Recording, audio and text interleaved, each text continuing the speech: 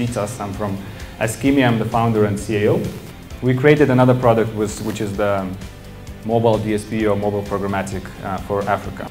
Programmatic advertisement is like algorithmic purchase of media, taking into account the consumers, the devices, the, the habits, the, the, the, advertisers that are here. We created it with specifically with Africa in mind. We kind of understand some of the African consumers and advertisers already.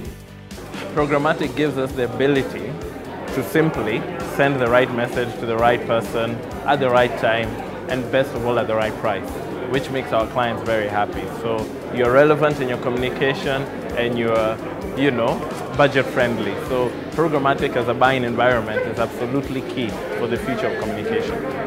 Programmatic is not just a new way of buying media, but really it's a new way of thinking. A thinking that's driven by data, by intelligence, not opinion, relationships, feelings, emotions, etc. We're talking about actually reaching the people who really care about and want something to do with the brand. And I feel that's a very important aspect which all media agencies should own and try and sell it to their brands, even those brands who are not really yet into it. At Coca-Cola, we started our programmatic uh, journey about a year ago. Um, actually, in 2015, we did our first programmatic media buy for Share Coke in Nigeria. And then last year, uh, we made a deliberate effort to use programmatic in a lot of our media buys in Africa. Even when you convert the customer into a consumer, the biggest problem we see is that once you get a customer onto your platform, you convert it, the relationship with the customer then stops. So how do we create, sort of use artificial intelligence, data technology to create an always-on engagement with our customers? Eskimi or programmatic media is not the future, it is the present today. The technology is ready today. You guys have the inventory today. You have more inventory than Google and Facebook combined have. So it is not about the future, it's about the present. So the question is not, is, is not that futuristic technology or futuristic platform that we have to focus on investing in. It is something that is happening today, it is ready to be using today. So really the question to be asked is that how do we get ourselves to get clients to buy into this platform today because the problem is that they don't understand this very well today. Currently, about 60% of Kenya's population is under 18. Around almost 80% is under 30, right? If we're looking at it from this, that perspective, then we have to be cognizant of the fact that we are in an age of digital natives.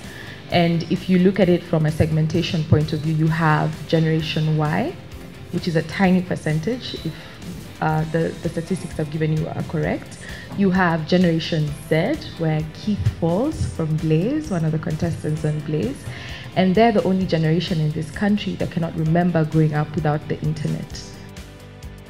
Safaricom currently, as it sits, is very interested in segmentation strategy, which means we have to be more cognizant about becoming more relevant to our consumers at a very individual point of view. So people aren't all the same. You can't continue to market them with mass branding and mass targeting.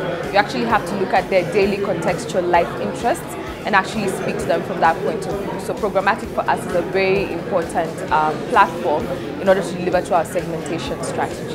One thing that I really appreciated about the event was the panelists that um, were there uh, you know, the different industry as experts, you know, the different agency partners that were there.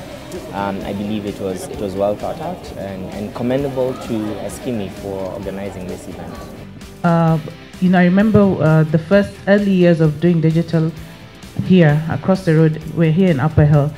And, uh, and the, the knowledge and insights team, they used to sit next to me.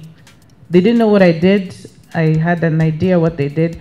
And one time, one of them came to me and said, You know, we're doing all this um, research and digital, we're not even asking about digital, but it's coming up, you know, so often. Can you tell me what you guys are doing? And once we can start equating digital to building brand uh, equity, brand affinity, we call it brand love in, in Coca Cola. Building brand love and then eventually linking it to transactional elements then uh, you will see an increase uh, in the budget. Programmatic is so new in, in Africa that you know we really need to be coming together in such forums and exploring what the opportunities are, hearing from the experts, um, hearing you know, real experiences of what brands have been able to do. So this is really a good forum. I'm happy to be here today. The future is where both media, content, strategy is all centered about how do we make ourselves relevant on the mobile device. And that's why it won't be digital marketing anymore. It will be marketing in a digital world.